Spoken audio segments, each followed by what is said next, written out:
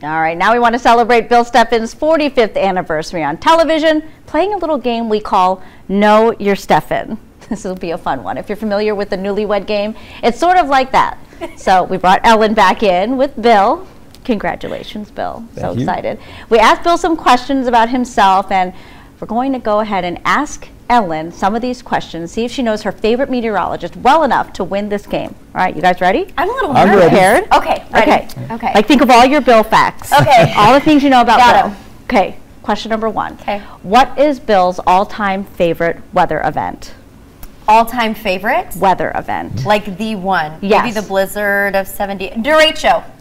I changed my mind. Oh, don't change your mind. Don't change your mind. Yes. I was going to say I knew you'd know that one. I said right away. Of course you knew that one. Because Yeah, I yelled it out good too. one. That's a good one. and that made your name. Uh, it's amazing because that really did. When I was uh, uh, forecasting for that storm, I went six to 10 inches, and I thought that was so much snow. We wound up getting 15 inches of snow in 15 hours.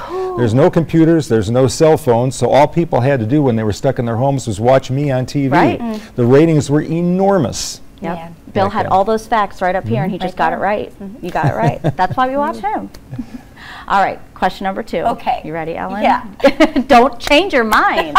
this one you should know. Okay. yeah, I think you'll know this one. What fall treat does Bill like to leave in our break room every fall? Oh, apples. There you Freshly go. picked apples. There you go. Yeah. Nice, nice, nice. Love apples, and uh, last night I had a gigantic piece of apple pie made by my wife Sweet. with honey crisp Gail. apples uh, and uh, some of the Rome apples from across the street. Just absolutely wonderful. Yeah, where do you Yeah. get these apples? I, I get apple. I, there's so many places I that, Just that go I get around apples picking up from. these apples, yeah, and, they- and they- we just reap the benefits. There's, there's a You lot do of the picking, Yeah, we'll enjoy them. we get yeah. pick There's a lot of places you can stop. Uh, you know, on the up on the Well, ridge here. We have enjoy, apples. we enjoy them. Mm-hmm. All right, third question. This one's a little tougher. When Bill started in 1974, what was his annual salary from his first full-time job as Okay. a forecaster? So the thing is, If you're close, it's good enough. I remember you saying you pulled home like a hundred bucks a week, maybe, or every. A little more than that. Um, Uh-oh, you're going to have to do some math in this one. Uh, mm, eighteen thousand a year. Oh. Ooh. Well, should we look at the answer? Yes. Close only counts. I, that, Oh. I, made 170 175 hours a Ellen week. guessed double. And that that was working six days a oh, week back then. Oh, Wow. I did the morning. You were rolling in the dough, Bill. Weekdays, I was. I, I ac- actually was because I didn't have any chance to spend the money. I was working so many hours. Oh. Yeah. A lot of times some people will have a side job, Oh, right? when they first so get, much- it get into so this much fun. industry. You got to so do much what you got to do. Uh, we do have one final question and then a bonus question if we have time. All right, Okay. Ellen, tell us the occasion Bill was more was more important than actually Santa Claus. The occasion when Bill was more important than Santa Claus. Like any parade. Yes. Holiday so true. parade. That's so true. That's we'll my give her that one. know. yes, I think we should. Okay, yeah. we should. I don't know if Oh, it was more. Hudsonville Christmas parade. Yep. Okay. Yeah. I've been trying really hard not to cheat, by the way. I've been not looking at the answers.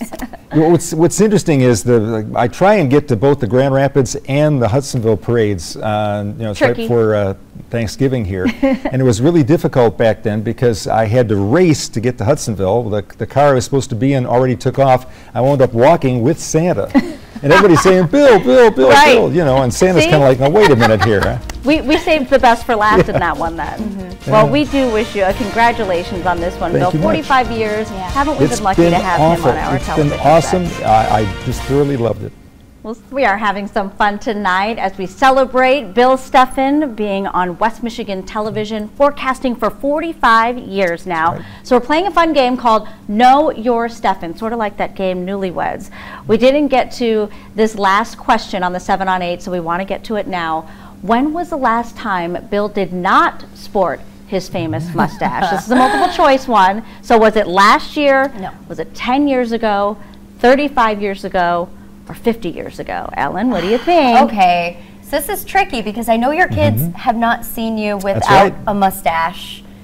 So I'm between C and D here. It has to be between 35 and 50. I, It is I, between C and D. I'm going to go with go. C, 35. It's D. I go all the way back to growing this mustache when I was a late teenager, Wow. uh, 19 years old. My grandfather had a really nice mustache, And I thought that was looked so cool and everything. And I went to school at the University of Wisconsin, where it's really, really cold. So anything you can do to put something between you and the outside air is a good thing. I wonder how many teens you've inspired now Right. with your Maybe. 50 years Yes. of mustache. That's Maybe. incredible. My kids and my wife have never seen me without a mustache. Man. Mm-hmm.